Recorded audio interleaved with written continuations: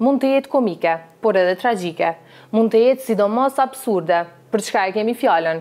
Kryeministri Albin Kurti e ka përmendur si protestues të dhunshëm dhe anëtar të organizatës kriminale Brigada e Veriut, një emër që një muaj më pas do të figuronte në kabinetin e kryetarit të Leposaviqit Lulzim Hetemi. Ishte data dy qershor, pak ditë pas protestës së dhunshme të njëzet e nëntë majit në Zveçan. Protestues të dhunshëm do të lëndonin shumë trupa të KFOR-it, më vonë do të lëndoheshin edhe gazetarë. E kemi parë se çfarë ka ndodhur me këta protestues të dhunshëm. Janë liruar me kusht. Por njëri prej tyre, si duket do ta kishte fatin shumë, shumë më të ëmbël. Si duket do të emërohej drejtor në komunën e kryetarit të vetëngujuar, Lulzim Hetemit. Tani më kemi pamje të mjaftueshme me video e me foto të cilat dëshmojnë se eskalimi i situatës më njëzet e nëntë maj ishte i planifikuar, ishte mirë i organizuar dhe kishte autorë.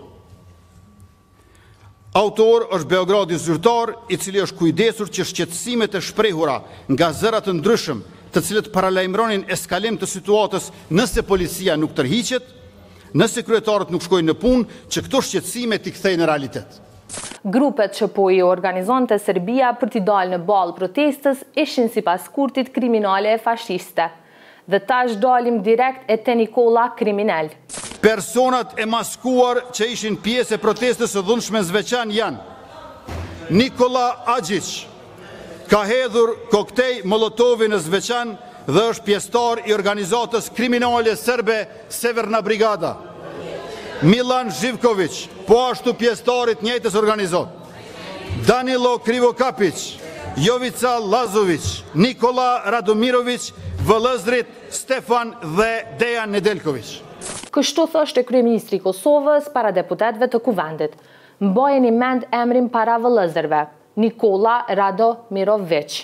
Vetëm tetë ditë më parë, babai i drejtor Nikollës, Radoiqa, bash ai që ishte pjesë e ushtrisë jugosllave gjatë kohës sa kjo ushtri bënte krime monstruoze në Kosovë, Do t'i shkonte në zyrë kryeministrit Albin Kurti. Do të emërohej zëvendës ministër.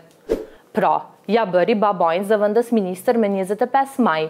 Ia përmendi djalin si kriminel të Brigadës së Veriut me dy qershor. Por pritni, se ka edhe një twist tjetër në këtë mesele. Nikolla, që i ishte betuar Serbisë si ushtar i saj në vitin dy mijë e njëzet e një s'do të trajtohej si kriminel i Brigadës së Veriut, por do të trajtohej si qytetar i mirë, i ndershëm që do të kishte aq vlerë sa të bëhej hiç më pak se drejtor në komunën e zotit Lulzim Hetemit, kryetarit të ngujuar ironikisht prej njëzet e nëntë majit. Pikërisht në atë seancë kryeministri do t'i pyeste deputetët e opozitës, a e kuptoni pra se me çfarë kemi të bëjmë?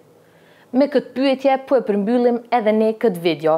A e kuptoni pra shikues të dashur, se me çfarë kemi të bëjmë?